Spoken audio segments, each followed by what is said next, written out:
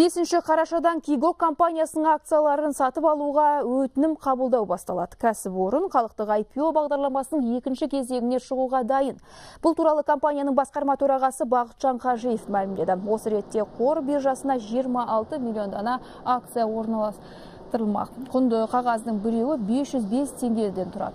Акцияларды сатып алуға өтінім беру бір ай бойы жалғасады. Ал 19 желтоқсаннан бастап акциялар қор жүйесіне еркін айналымға шығады. IPO бағдарламасында негізгі басымдық жеке инвесторларға яғни қарапайым халыққа беріледі. Жалпы компания ағымдағы жылдың бірінші жарты жылдығында 588 миллион теңге таза табыс тапқан.